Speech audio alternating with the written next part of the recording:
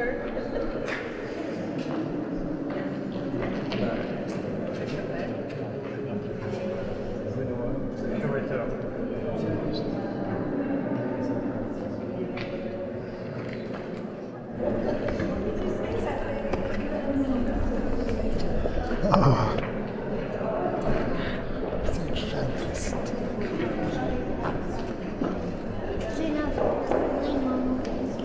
Je me souviens quand mon père a, a- a peint ce, ce, ce- ce tableau.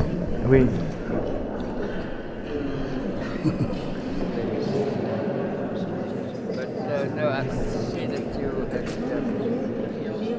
Oui.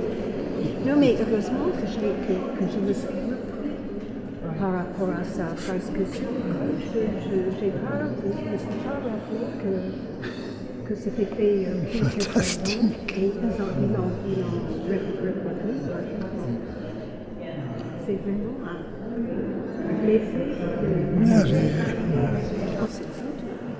Mesdames et messieurs, bonjour. Euh, au nom euh, de Franck Riester, ministre de la Culture, et de Philippe Elaval, président du Centre des Monuments Nationaux, nous sommes euh, très heureux de vous accueillir à l'abbaye du, à l'abbaye du Toronnet. Nous sommes d'autant plus heureux que nous accueillons euh, Monsieur et Madame Tolkien. C'est un peu la rencontre de euh, trois patrimoines d'exception un patrimoine monumental hein, qu'est l'abbaye du, du Toronnet, un patrimoine euh, des savoir-faire et des beaux-arts avec la cité de la, tapisserie, et puis bien sûr la rencontre d'un patrimoine immense de la littérature contemporaine. Je pense que ça sera euh, l'une des plus belles expositions qu'on aura fait à l'abbaye du Toronnet depuis très longtemps, et j'en suis euh, très heureuse. Nous sommes euh, ravis d'être ici. Nous devons d'abord excuser notre présidente Valérie Simonet, qui est présidente de la Cité de la Tapisserie, mais aussi du conseil départemental de la Creuse, qui souhaitait vraiment venir et qui n'a pas pu le faire au dernier moment. Il y a toute une dimension d'une vraie rencontre avec la famille Tolkien qui a été euh, pour nous et qui est toujours pour nous formidable. Et donc on, est, on a participé avec notre présidente et notre ancien président au vernissage de l'exposition à, à Oxford euh, cette année. Et puis Bailly est venu euh, quand même en 2018 deux fois au Luçon. Et je peux vous dire que Bailly maintenant est une star au Luçon. Elle, est, elle, est- elle a vraiment séduit, euh, elle a séduit les, les Par, euh, son, élégance et par sa spontanéité. Donc euh, rencontre et moment euh, d'émotion avec, euh, avec vous, Christopher, pour euh, cette découverte de- des- tapisseries. On sait combien, euh, combien elles, comptent, euh, elles comptent pour vous, en tout cas par rapport aux illustrations de, votre père.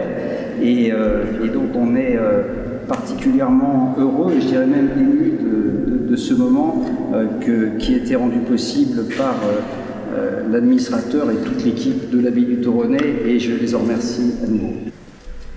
Je dois expliquer que mon père, habituellement, euh, travaillait très très tard dans, la nuit pour, son travail de, euh, de peindre, peindre, écrire. Et moi, quand j'étais très très jeune, très très très jeune, j'ai euh, euh, trouvé pendant, pendant les nuits, euh, j'ai devenu inquiet au sujet de mon père, euh, dans la façon est-ce qu'il était toujours en vie?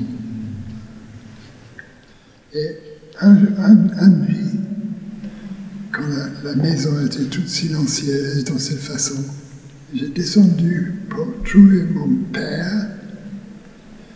Et voilà, il, était là.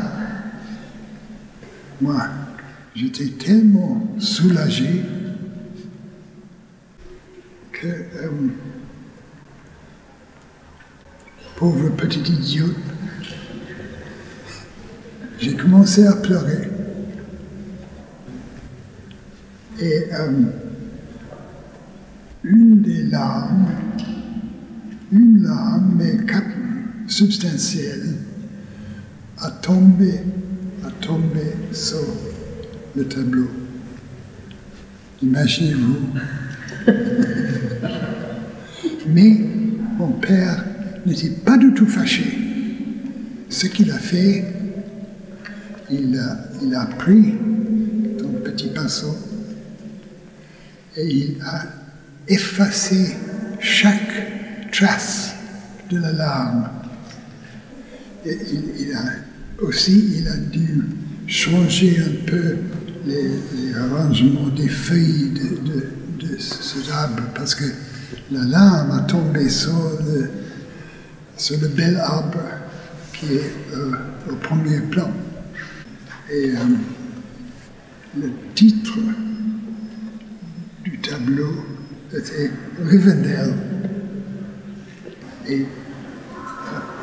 Dans cette maison, Frodo a prononcé les mots qui sont fondamentaux au Seigneur des Anneaux. Ce qu'il a dit, I will take the ring, though I do not know the way. Je vous remercie.